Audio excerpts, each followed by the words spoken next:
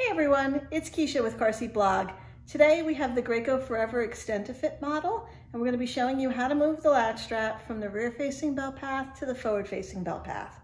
As I've already mentioned, this is the Forever Extend to Fit model, which is sort of like a hybrid between the Forever and the Extend to Fit. However, if you just have a Graco Extend to Fit or an Extend to Fit 3-in-1, or if you only have a Graco Forever model, Forever DLX, just know that the process for moving the latch strap is exactly the same. So, first thing you're gonna do is move your headrest all the way up. Next thing you're gonna do, this particular one has snaps. We've unsnapped. You're gonna expose the belt path so that you can see what you're doing. The setup for all of these um, Graco convertibles is pretty much the same. The concept is that you have a metal bar that runs just along one side of the shell of the car seat and your latch strap is gonna be trapped under that metal bar. So um, the seat always comes out of the box with the latch strap in the rear facing position because they figure that's how you're going to use the seat first. But when you are done with rear facing and you're going intend to move to forward facing orientation and you want to continue to use the latch strap, bring your latch connectors into the belt path like this. You have them so that they're trapped under the bar.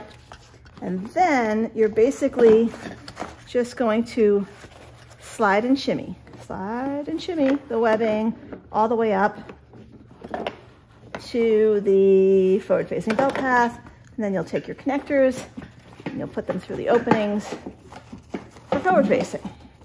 Making sure that your latch strap is not twisted and taking care to make sure that you don't get caught up in the five point harness.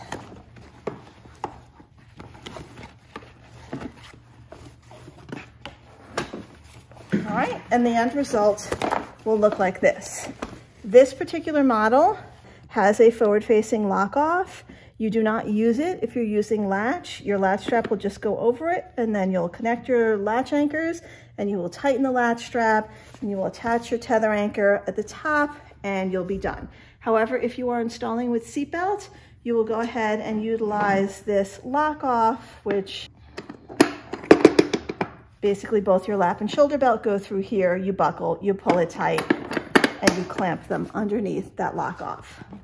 The last thing I'm gonna point out, just because it's red and it's really obvious, a lot of people mistakenly think that these little red flags, for lack of a better word, are lock-offs for the rear-facing belt path. They are not.